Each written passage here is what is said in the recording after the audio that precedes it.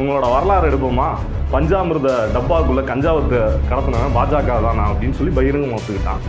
இதே மாதிரி ரவுடி சூர்யா அப்படிங்கிற ஒரு ஆள் வந்து பாஜக கட்சியில் சேர வரும்போது போலீஸ் பார்த்துட்டாங்கன்னு சொல்லி தப்பிச்சு ஓடுறதுக்காக கேடி ராகவன் மாநில தலைவரோட கார்லேயே ஏறி தப்பிச்சு ஓடினான்.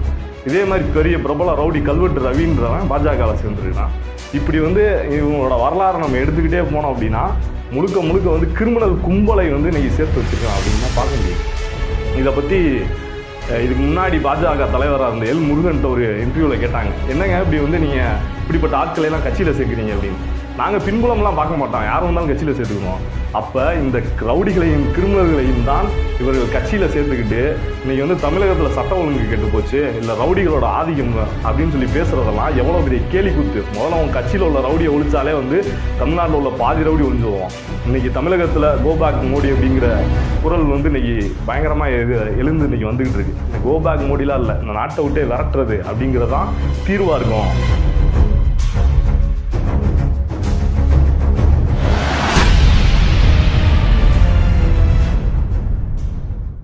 கடந்த மே இருபத்தி ரெண்டில் வந்து ஒரு பத்திரிகை செய்தி ஒன்று பார்த்தோம். அந்த பத்திரிகை செய்தி என்ன சொல்ல வருதுன்னா முத்துப்பேட்டை அப்படிங்கிற ஒரு ஊரில் வந்து ஒரு அதிமுக நிர்வாகி வீட்டில் வந்து பாஜகவை சேர்ந்த நபர் வந்து குண்டு வீசியிருக்காரு.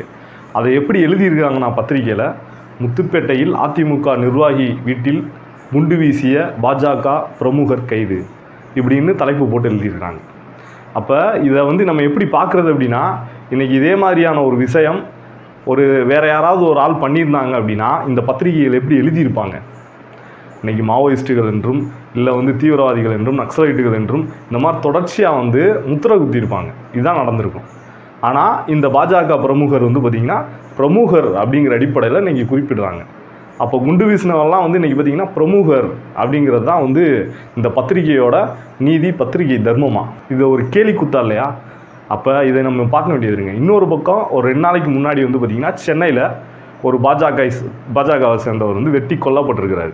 அவர் யார் அப்படின்னு பார்த்தீங்கன்னா அவர் ஒரு பெரிய கிரிமினல் கும்பலோட வந்து தொடர்பு இருந்தவர் அவர் மேலே எட்டு வழக்கு இருக்குது அந்த கிரிமினல் கும்பலோட ஏற்கனவே அவங்க குடும்ப ரீதியாகவே உறவில் இருந்திருக்காங்க. அவங்களுக்குள்ள ஏற்பட்ட தகராறு மோதலில் அந்த கிரிமினல் கும்பல் வந்து அவரை வந்து வெட்டி கொண்டுட்டாங்க அப்போ வந்து பத்திரிகைகள் என்ன எழுதுகிறாங்க அப்படின்னா இதை பொறுத்த வரைக்கும் சென்னையில் பாஜக பிரமுகர் வெட்டி கொலை செய்யப்பட்டார். பிரமுகர் என்ன பிரமுகர்? அவன் ஒரு ரவுடி இவன் ஒரு ரவுடி. ரவுடி ரவுடியை வந்து கொண்டுட்டான் பாஜக ரவுடின்னு சொல்லி எழுதுறதுல இந்த பத்திரிகைகளுக்கு என்ன என்ன கேடு வந்துச்சு? ஏன் எழுத மாட்டேங்கிறாங்க? அப்போ கா காசுக்காக எழுதக்கூடிய இந்த பத்திரிகைகள் இப்படி தான் வந்து எழுதுகிறாங்க இன்னொரு பக்கம் வந்து பார்த்திங்கன்னா இதே விஷயத்தை இன்றைக்கி பிஜேபியோட தலைவர் அண்ணாமலையும் அதே மாதிரி வந்து பார்த்திங்கன்னா இந்த டிவிலெலாம் வந்து கத்தி கத்தி பேசுவாப்புல இல்லை திருப்பதி நாராயணன். அவர் வந்து பேசியிருக்காங்க. என்ன அப்படின்னா தமிழகத்தில் சட்ட ஒழுங்கே கெட்டுப்போச்சு தமிழகத்தில் ரவுடிகளோட அராஜகம் தாங்க முடில அப்படின்னு சொல்லி பேசுகிறாங்க இதே தான் எடுத்துக்கிருவோம். இன்றைக்கி பாஜகவோட தலைவர் அண்ணாமலையோட பின்னாடி வலதுகையாக நின்று நின்றுக்கிட்டு எல்லா விஷயங்களையும் செய்யக்கூடியவர் யார்? கருப்பு முருகானந்தம். ஒரு பெரிய கிரிமினல் ரவுடி. அப்போ தம் பின்னாடியே கிரிமினல் ரவுடிகளை வந்து சேர்த்து வச்சுக்கிட்டு இருக்க ஒரு கும்பல். இன்றைக்கி வந்து பார்த்திங்கன்னா தமிழகத்தில் கிரிமினல் அட்டகாசம் தாங்க முடியலன்னு சொல்லி பேசுது. உங்களோட வரலாறு எடுப்போமா? பஞ்சாமிர்த டப்பாக்குள்ளே கஞ்சாவத்தை கடத்தினவன் பாஜக தானா அப்படின்னு சொல்லி பகிரங்கமாக ஒத்துக்கிட்டான்.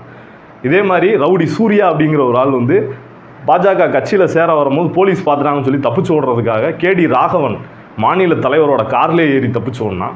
இதே மாதிரி பெரிய பிரபல ரவுடி கல்வெட்டு ரவின்றவன் பாஜகவில் சேர்ந்துருக்கிறான். இப்படி வந்து இவங்களோட வரலாறை நம்ம எடுத்துக்கிட்டே போனோம் அப்படின்னா முழுக்க முழுக்க வந்து கிரிமினல் கும்பலை வந்து இன்றைக்கி சேர்த்து வச்சுருக்கான் அப்படின்னு தான் பார்க்க முடியுது. இதை பற்றி இதுக்கு முன்னாடி பாஜக தலைவராக இருந்த எல் முருகன்ட்ட ஒரு இன்டர்வியூவில் கேட்டாங்க. என்னங்க இப்படி வந்து நீங்கள் இப்படிப்பட்ட ஆட்களை எல்லாம் கட்சியில் சேர்க்குறீங்க அப்படின்னு.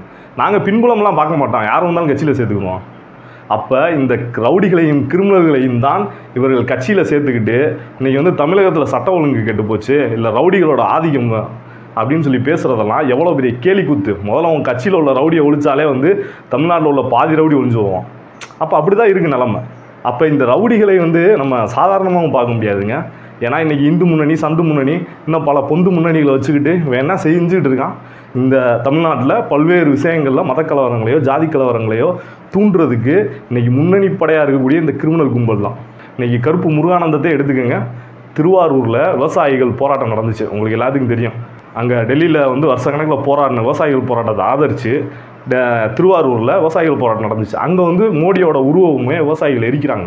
இந்த கருப்பு முருகானந்தம் என்ன பண்ணியிருக்காருன்னா நீ விவசாய மோடி பொம்மை எரிச்சின்னா நான் உங்கள் தலைவர் லெனின் பொம்மையை எரிப்பேன் அப்படின்னு சொல்லி சவால் விட்டு அங்கே வந்து விவசாயிகளோட மல்லுக்கு வந்து நிற்கிறான் அப்போ விவசாயிகளுக்கு எதிராக கார்ப்பரேட்டுகளுக்கு ஆதரவாக இந்த மாதிரியான கிரிமினல் கும்பல்களை வந்து இன்றைக்கி தமிழகம் முழுவதும் வந்து வளர்த்துக்கிட்டு இருக்கான்.